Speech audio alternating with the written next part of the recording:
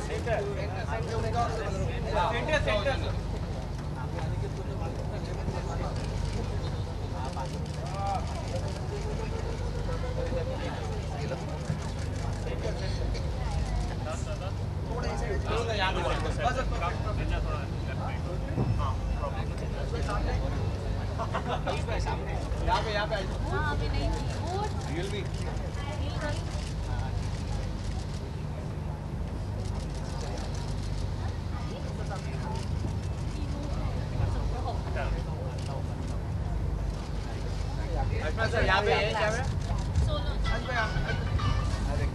Sir यहाँ पे ये। राइट साइड ये कैमरा सर। सर। सर ये। सर राइट साइड सर नीचे नहीं।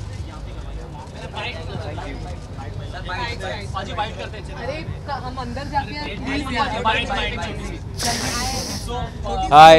Okay, so uh, it's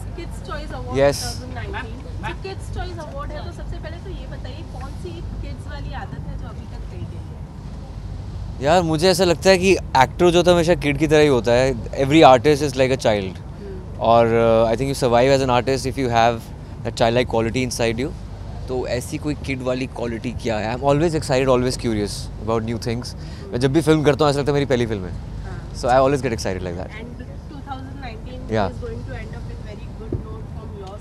And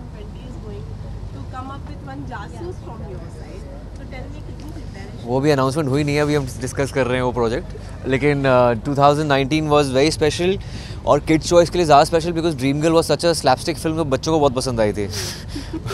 but बाकी जो मेरी फ़िल्में होती हैं टैबू सब्जेक्ट्स पे होती हैं बच्चे समझ नहीं पाते हैं क्या हो रहा है उसके अंदर.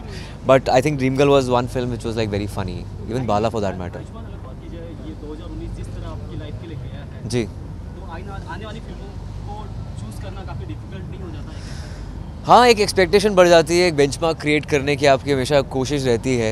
और 2020 में मेरे पास ऐसी स्क्रिप्ट्स आ रही हैं जो बहुत ही यूनिक हैं just like 2019 so I hope ये स्ट्रीक कंटिन्यू रहे।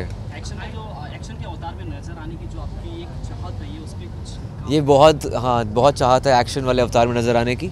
और जल्दी होगा ये 2020 में ऐसा होगा। और I have to of course work out on that also चार महीने हैं मेरे पास प्रिपेयर करने के लिए let's see Ayushmann Yeah. I hope you बनी बहुत सारे नए topics के साथ आपने मर्दानी टू देखा है कि बहुत काफ़ी मैंने मर्दानी टू नहीं देखी लेकिन मर्दानी टू पढ़ी है। मेरे को नरेशन मिली थी आदि सर ने नरेशन दी थी उसकी मुझे। और I am congratulating Rani ma'am and Adi sir that is doing pretty well चलो चलो।